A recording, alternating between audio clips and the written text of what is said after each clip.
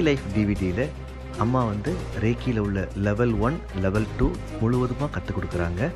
இதுக்கு டிஸ்டன்ஸ்லேயே தீட்சையும் கொடுக்குறாங்க. இதை பற்றிய விவரங்களுக்கு நீங்கள் உடனடியாக தொடர்பு கொள்ள வேண்டிய எண்கள் seven double three eight four eight four seven eight six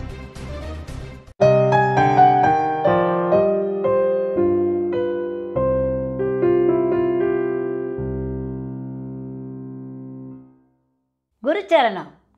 எனது இளைஞர் பிள்ளைங்க எல்லாரும் எல்லா விதமான எல்லா வளமும் பெற்று சூப்பர் சூப்பராக வாழணும்னு இந்த அம்மா வேண்டிக்கிறேன். புரிஞ்சாக்கணுங்களா இப்போ நம்ம ஏற்கனவே என்ன பண்ணுறோம் வருந்தாதே மனமே வருந்தாதே. அதனுடைய பார்ட் டூ இப்போ. என்னென்னா அன்றைக்கி நம்ம சொன்னது பன்னெண்டு நட்சத்திரத்துக்கு மொத்தம் வந்து உங்களுக்கு எத்தனை? உங்களுக்கு இருபத்தேழு நட்சத்திரம். மிச்சம் இருக்கிற நட்சத்திரம் பதினஞ்சு நட்சத்திரத்துக்கு வேணும் இல்லையா?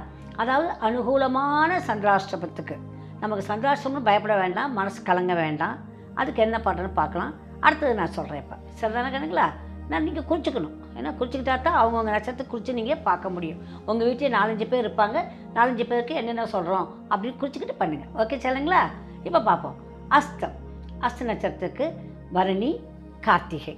அஸ்த நட்சத்திரம் வரவங்களுக்கு என்ன நட்சத்திரம்? பரணி அஸ்த நட்சத்திரம். அன்னைக்கு உங்களுக்கு வந்து நமக்கு அஸ்த நட்சத்திரக்காரத்துக்கு இது சந்திராசிரமம் இருந்ததுனால் அன்னைக்கு பரணி நட்சத்திரமோ கார்த்திகை நட்சத்திரமோ இருந்தால் அது சூப்பர் டே நம்ம பயப்பட வேண்டாம். சந்தாசமத்துக்கு அது அனுகூலமான நாள். புரிஞ்சுதா?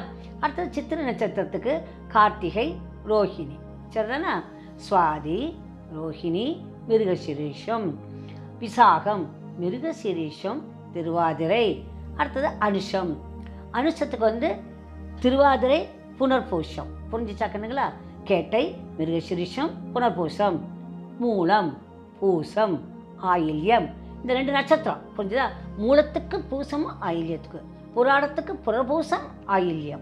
அடுத்து உத்திராடத்துக்கு மகம் பூரம் அடுத்து திருவோணம். திருவோணத்துக்கு பூரம் உத்திரம். அடுத்தது அவிட்டம். அவிட்டத்துக்கு உத்திரம் அஸ்தம். சதயத்துக்கு அஸ்தம் சித்திரை. புரட்டாதி சித்திரை சுவாதி. உத்திரட்டாதி சுவாதி விசாகம். ரேவதிக்கு சித்திரை விசாகம். மொத்தம் இருபத்தி ஏழு நட்சத்திரத்துக்கும் அவங்களுக்கு என்னென்ன நட்சத்திரத்தில் சந்திராசம் வந்தால் எவ்வளோ நல்லா இருக்கலாம் அப்படிங்கிறத சொல்லியிருக்கேன். ஸோ மனசுங்கிறது தான் நமக்கு இந்த வாழ்க்கையிலே செல்லுலேயே என்ன இருக்குன்னா நம்ம டிஎன்ஏல நம்மளோட நேமை வந்து அது என்ன பண்ணிருக்கு ரெக்கார்ட் பண்ணியிருக்கு அது மாதிரி உங்களுடைய எல்லா விதத்தையும் என்ன பண்ணோம் நம்மளோட டிஎன்ஏன்னு சொல்ல நம்மளுடைய செல்லில் இருக்கிற அந்த உயிரணு என்ன பண்ணிக்கிறோம் எல்லாத்தையும் என்ன பண்ணிக்கிறோம் கிரகிச்சுக்கிறோம். அதனால் நீங்கள் என்ன பண்ணக்கூடாது? எனக்கு இது வந்துருச்சுன்னு கவலைப்படக்கூடாது. கவலைப்படாமல் என்ன பண்ணணும்? டங்க டக்க டங்க டக்க அட்டி அட்டி அட்டின்னு அடிக்கணும். புரிஞ்சுதா? கவலை மட்டும் பட்டுட்டாங்கன்னா பிரயோஜனம் இல்லை எல்லாத்தையும் என்ன பண்ணணும்? சேலஞ்சாக எடுக்கணும். அதுக்கு என்ன நம்ம ஆக்ஷன் எடுக்கலாம்னு பார்க்கணும். இல்லையா? அது நமக்கு சேலஞ்ச் இல்லை? அதான் நம்ம கடவுள் கொடுத்துக்கப்பட்டிருக்குது. சேலஞ்சஸ் முடுங்க கொண்டாங்கப்பா. எத்தனை தான் வரும் பார்த்துருவோமே. அப்படி நீங்கள் இருந்தீங்கன்னா தைரியம் வந்துடும் என்கிட்ட ஒருத்தவங்க கேட்டாங்க. பிள்ளைங்க வந்திருந்தாங்க. ஒர்க் ஷாப்பில் நடந்துட்டுருக்கப்ப அம்மா எங்களுக்கு ஒரு சந்தேகம் அப்படின்னு கேட்டாங்க. என்னடா கணக்கான்னு கேட்டேன். நீங்கள் எப்போ பார்த்தாலுமே சிரிச்சிட்ருக்கிறீங்க. எப்போ பார்த்தாலும் டாங் டாங் டபக்க டபக்க இப்படிலாம் ரொம்ப நல்லா பேசுகிறீங்க இப்போ உங்களுக்கு வாழ்க்கையில் எதுவுமே ஹேர்டில்ஸ்லாம் வந்ததே இல்லையா? அதாவது தடங்கல்கள்லாம் இருந்ததே இல்லையான்னு கேட்டாங்க. கண்ணுகளா தடங்கள் இல்லாத மனிதர்கள் இருக்கவே முடியாது. புரிஞ்சுதா? எந்த மனிதன் தடங்கள் இல்லாமல் இருக்க முடியும்? எத்தனை சோதனைகளோ வரத்தான் செய்யும். புரிஞ்சுதா? அந்த சோதனை என்ன பண்ணும் நமக்கு? ஆயுதமாக எடுத்துக்கணும். சோதனைகளே தான் நமக்கு ஆயுதம் கண்ணுங்களா ஆயுதமாக எடுக்க பழகிட்டிங்கன்னா பயமே வராது. பய நம்ம அதுக்கு அதுக்குள்ளே அதுக்குள்ளே போவோம். ஆனால் அதுக்குள்ளேயே போயிட்டோம்னா ஒன்றுமே நடக்காது. பயந்து பயந்து உள்ளே போனோம்னா நடக்காது. எடுக்கணும் தொடுக்கணும். என்ன வரட்டுமே. போட்டு தான் பார்க்கலாமே அப்படின்னு போட்டு பார்க்கணும். புரிஞ்சிச்சா கண்ணுங்களா நான் எனக்கு அந்த மாதிரி தான் நான் வாழ்ந்து பழகியிருக்கேன். நான் எப்பவும் என்னுடைய என்னைய நான் முழுமையாக நம்பினேன். அது உண்மை. நான் இப்படித்தான் இருக்கணும். எனக்கு இதுதான் பிடிக்கும் அப்படிங்கிறத நான் முடிவாக இருந்தேன். என்னுடைய பிடித்தத்துலேருந்து நான் மாறலை. என்னுடைய கொள்கையிலேருந்து நான் மாறினதில்லை. எனக்கு டீச்சிங் பிடிக்கும். அதனால தான் எவ்வளோ பெரிய வேலையில் கூட தூக்கி போட்டுட்டு இன்றைக்கி உங்கள் முன்னாலெலாம் இருக்கிறேன். இருபத்தாறு வருஷமாக டீச்சிங் தானே கண்ணுங்களா பண்ணுறேன் அதனால் ஹேர்டல்ஸ் வராதனால அப்போ தான் ஸ்பீடப் ஆகும். லைஃப்பில் ஸ்பீடு எப்படி இருக்கும்? தடை தடைகள் இருந்தால் தான் ஸ்பீடு வரும்டா கண்ணுங்களா? இல்லைன்னா வராது. அப்படி மேலே போயிரும்ல. ஃப்ளாட்டாக இருக்கக்கூடாதுல்ல வாழ்க்கை. அச்சா சக் சக் சக் அதுதான் வாழ்க்கையிலேயே இன்பம். புரிஞ்சிச்சா? எல்லா கஷ்டமும் வரும்.